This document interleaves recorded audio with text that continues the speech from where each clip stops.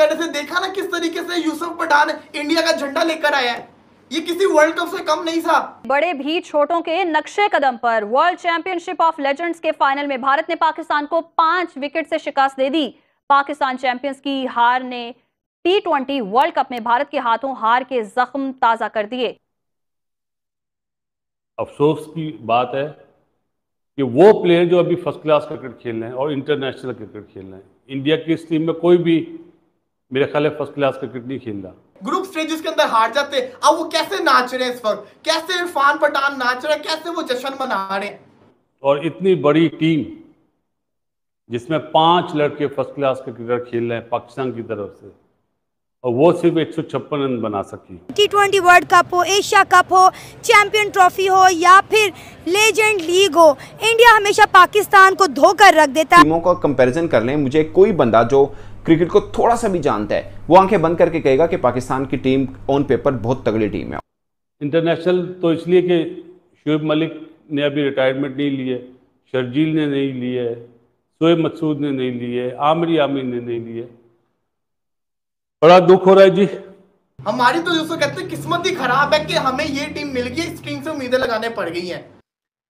हिंदुस्तान के चैंपियंस ने भाई भिखारियों को फाइनल में क्या पेंटा मारा है? तो आप वो लड़के बीच में से लेकर गए हो जो रिसेंटली पीएसएल खेल सकते हैं ठीक है? उसके बावजूद इंडिया की उस टीम से आप हार रहे हो।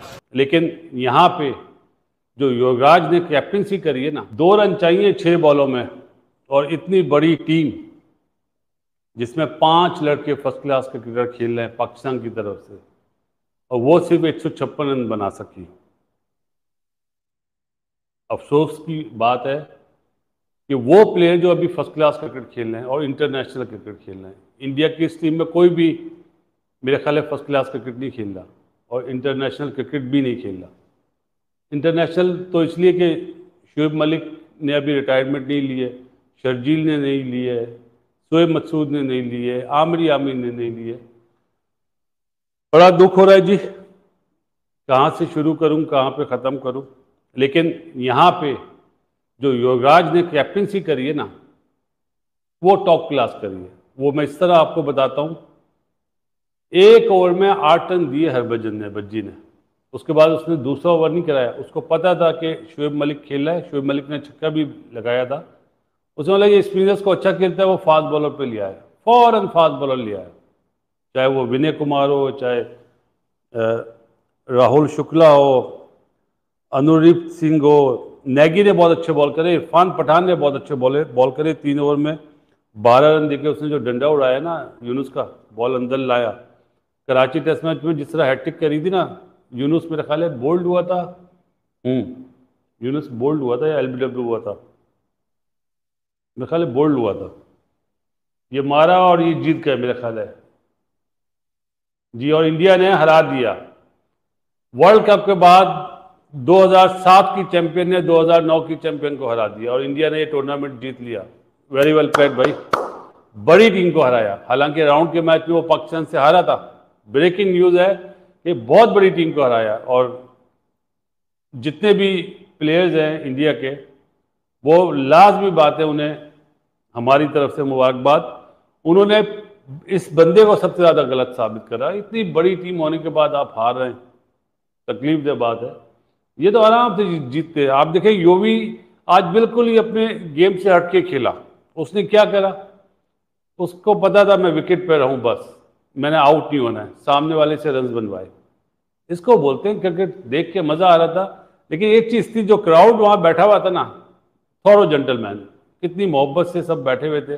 आप अपने मुल्क को रिप्रेजेंट करने से देखा ना किस तरीके से यूसुफ पठान इंडिया का झंडा लेकर आया है।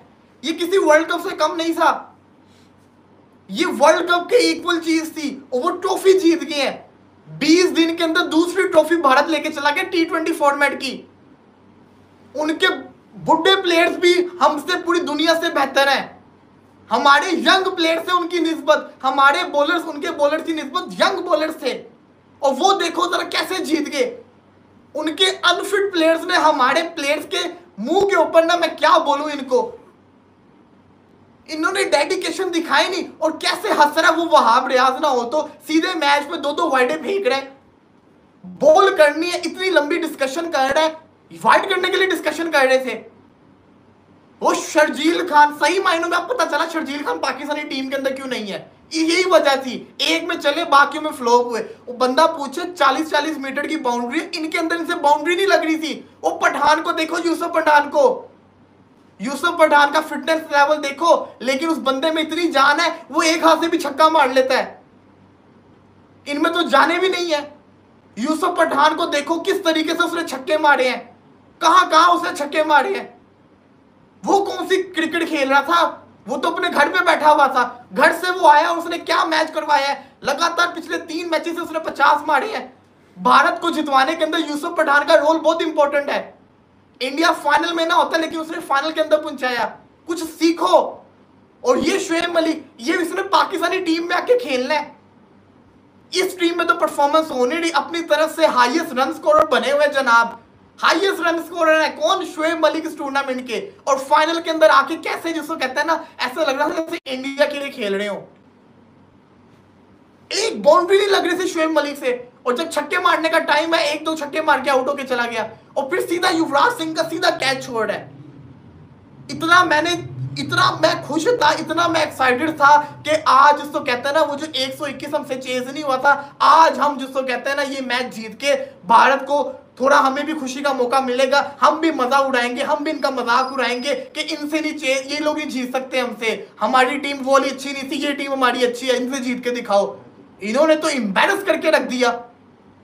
इतना इम्बेरस करके रखा है कि मैं आपको लफ्जों में बयान नहीं कर सकता। मुझे तो अफसोस हो रहा है कि मैं इस टीम को सपोर्ट कर रहा था। इस टीम को मैं सपोर्ट कर रहा था। डेडिकेशन देखो ना, उनके उनके नाम में उनको ताकत मिलती है। इंडिया के नाम के साथ, जिसको कहते हैं ना, जीत लिख दी गई हुई है।